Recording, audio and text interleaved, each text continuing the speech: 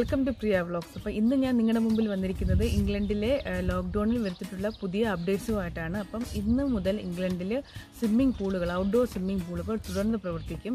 വരുന്ന ഇരുപത്തഞ്ചാം തീയതി മുതൽ അതായത് ജൂലൈ ഇരുപത്തി അഞ്ചാം തീയതി മുതൽ ഇൻഡോർ പൂളുകളും ജിമ്മുകളും തുടർന്ന് പ്രവർത്തിക്കുമെന്നാണ് ഗവൺമെന്റിന്റെ ഭാഗത്തു നിന്നും അറിയാൻ സാധിച്ചത്. ശരീരഭാരം കൂടിയ ആൾക്കാർക്ക് സാധാരണ ആൾക്കാരെക്കാളും പ്രതിരോധ ശേഷി കുറവായതുകൊണ്ട് ഈ വിഭാഗത്തിൽപ്പെട്ട ആൾക്കാരുകൾ കൂടുതൽ എക്സസൈസ് ചെയ്യണമെന്നാണ് എക്സ്പേർട്ടുകൾ പറയുന്നത്. ഇംഗ്ലണ്ടിൽ ആ റേറ്റ് അല്ലെങ്കിൽ റീപ്രൊഡക്ഷൻ റേറ്റ് എന്ന് പറയുന്നത് ഒന്നാണ്. അപ്പം ആ റേറ്റ് എന്നുകൊണ്ട് ഉദ്ദേശിക്കുന്നത് അസുഖം ബാധിച്ച ഒരു വ്യക്തിയിൽ നിന്നും എത്ര പേർക്ക് അത് സ്പ്രെഡ് ചെയ്യാൻ സാധ്യതയുണ്ട് എന്ന് കാണിക്കുന്ന ഒരു റേറ്റിംഗ് രീതിയാണ് ആ റേറ്റ് എന്നുകൊണ്ട് ഉദ്ദേശിക്കുന്നത്. ഇംഗ്ലണ്ടിൽ ആർ റേറ്റ് ഏറ്റവും കുറവുള്ളത് ലണ്ടനിലും ഏറ്റവും കൂടുതലുള്ളത് യോർക്ക്ഷയറിലുമാണ്. ഇംഗ്ലണ്ടിലെ അണ്ടർഗ്രൗണ്ട് റെയിൽവേ സ്റ്റേഷനുകളിലെ ഹാൻഡ് റെയിലുകളിൽ എല്ലാം യു വി ലൈറ്റുകൾ ഘടിപ്പിച്ചിട്ടുണ്ട്. അപ്പം ഇത് ഓട്ടോമാറ്റിക്കായിട്ട് തന്നെ ഹാൻഡ് റെയിലുകൾ സാനിറ്റൈസ് ചെയ്യുന്നുണ്ട്.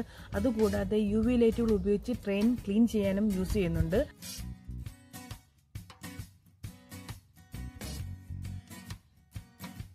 ഇംഗ്ലണ്ടിലെ അണ്ടർഗ്രൗണ്ട് റെയിൽവേ സ്റ്റേഷനുകളിൽ എല്ലാം പുതുതായിട്ട് ആയിരത്തിലധികം ഹാൻഡ് സാനിറ്റൈസർ പോയിന്റുകളാണ് സ്ഥാപിച്ചിട്ടുള്ളത്. അതുകൂടാതെ ട്രെയിൻ യാത്രയ്ക്ക് ഫേസ് മാസ്കുകൾ നിർബന്ധമാണ്. ഫേസ് മാസ്ക് ധരിക്കാത്ത ആളുകൾക്ക് നൂറ് പോണ്ടാണ് പിഴ. ഇംഗ്ലണ്ടിലോട്ട് വരുന്ന ആൾക്കാർക്ക് ഏർപ്പെടുത്തിയിരുന്ന പതിനാല് ദിവസത്തെ ക്വാറന്റൈനിൽ നിന്നും യൂറോപ്യൻ രാജ്യങ്ങൾ ഉൾപ്പെടെ എഴുപത്തിയഞ്ച് രാജ്യങ്ങളെയാണ് ഒഴിവാക്കിയിരിക്കുന്നത്. ഇന്ത്യ ഉൾപ്പെടെയുള്ള ഏഷ്യൻ രാജ്യങ്ങൾക്കും മിഡിൽ ഈസ്റ്റ് രാജ്യങ്ങൾക്കും അമേരിക്ക കാനഡ എന്നീ രാജ്യങ്ങളിൽ നിന്ന് വരുന്ന ആൾക്കാർക്കും ഇപ്പോഴും പതിനാല് ദിവസത്തെ ക്വാറന്റൈൻ ആവശ്യമാണ്. അടുത്ത ആഴ്ചയോടുകൂടി ഇംഗ്ലണ്ടിലെ സ്കൂളുകളെല്ലാം ക്ലോസ് ചെയ്യുകയാണ്. അതുകൂടാതെ സെപ്റ്റംബർ വരുന്ന സെപ്റ്റംബർ മാസത്തിൽ എല്ലാ വിദ്യാഭ്യാസ സ്ഥാപനങ്ങളും തുടർന്ന് പ്രവർത്തിക്കണമെന്നാണ് ഗവൺമെന്റിന്റെ ഭാഗത്തു നിന്ന് അറിയാൻ സാധിച്ചത്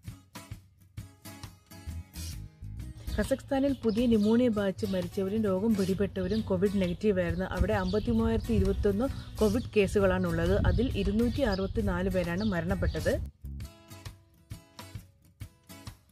കോവിഡ് നയന്റീൻ പൂർണമായും ഉന്മൂലനാശം ചെയ്യാൻ പറ്റുമോ എന്ന കാര്യത്തിൽ യാതൊരു ഉറപ്പുമില്ല എന്നാണ് ഡബ്ല്യു എച്ച്ഒയുടെ ഭാഗത്തു നിന്നും അറിയാൻ സാധിച്ചത്.